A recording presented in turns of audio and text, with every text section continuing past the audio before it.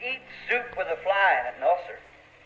You, you wouldn't you wouldn't be you'd be afraid to eat food that didn't look just right and was contaminated because you know it might give you a, a ptomaine poison or something that would kill you in a little bit. And you watch about this body, but that soul you let it feast on things of the world which you know is contaminated and can only do one thing: take you to destruction.